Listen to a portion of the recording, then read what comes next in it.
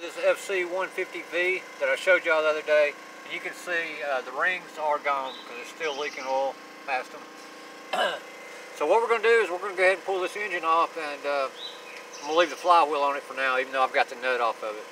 We're going to go ahead and pull this engine off and take it apart, take the cover off the bottom and see if we can get away with just putting rings in it, maybe a ring and a piston. Don't know till we get it apart. I want to see how bad these rings that are in here are out and take a better look at the cylinder.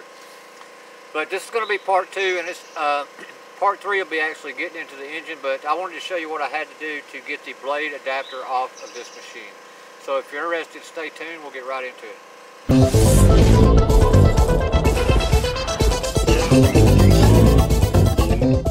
Most of these uh, recyclers, they have this kind of setup here where the uh, got this cover plate that sits on here You got, then the blade adapter goes on. Of course, this one's broken. Fits in here like this. And then you got your stiffener and your nut. So the first thing to do is get the blade off, which is no problem.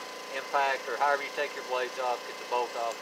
Then the stiffener should come off. And then the blade should come off. But uh, this piece right here should still be attached to this. And if the blade adapter is stuck on there, you can't get this cover off. Fortunately, somebody has been working on this before, and this blade adapter had been broken off. I've had to cut these off, or I've, I've put pullers on them, mangled them up. I, they're really hard to get off if they've been rusted, if nobody put anti-seize on them, or they've sat up a long time. It's almost impossible to get them off without destroying them. But this one was already broken, so I was able to get the cover off. But we would still have the dilemma of getting this piece off.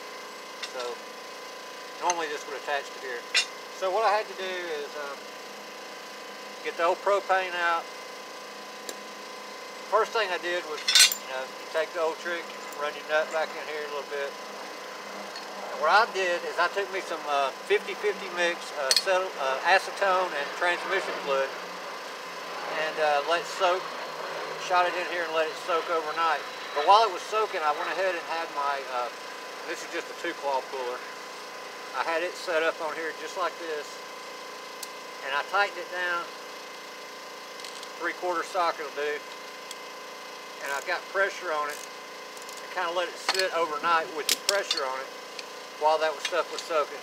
And I came out here this, today and I heated it up with my propane torch. Got it real hot. It's not going to get cherry hot, but you know, you heat it up, heat this piece up really good. And uh, then I quenched it with some water, old quench trick.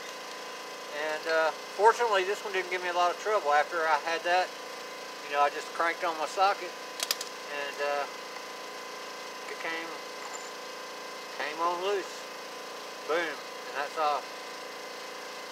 So that's the hard part because without getting this off, can't get the belt pulley off can't get the belt pulley off, there's no sense in uh, taking the engine off because you're not going to get the crankcase apart. So now, as you can tell, we've got it where we want it. And we're going to take, uh, I think this one's only got three bolts that hold it in. Yeah, one, two, and three. So we're going to take this off uh, the part three video, which I may put out tomorrow. We'll be getting this engine off, and we're going to pop the cover off and take a look inside the engine. So, but just, you know, just a trick on how to get these uh, pulleys off we got lucky on this one. Anyway, thanks for watching. I'm going to show you, don't, don't, don't go away yet, I'm going to show you what one looks like that's uh, messed up and, and, hard to get off. This is the same kind of setup, uh, but you can't get this cover off until you get this blade adapter off. And you see how I showed you, it's all one piece. This one uh, isn't broken, so the only way to get this off is uh, try that heating it up and pulling it but you can't get a uh, you don't be able to get a puller on here anywhere good to get that off. So uh, you know you can try to cut cut the corners off here so then you can get the cover off. What I usually do is take a I've already started on this one but uh, I'm not sure I'm going to mess with it because the customer hadn't called me back on it but I'd cut these corners off right here all the way around and that way I can go ahead and get the cover off and then I can access that and do the same trick we did on the one I just showed you. Anyway, just wanted to show you that was part two. We'll get to part three next. Uh, y'all have a great weekend, and Jungle Bob is out.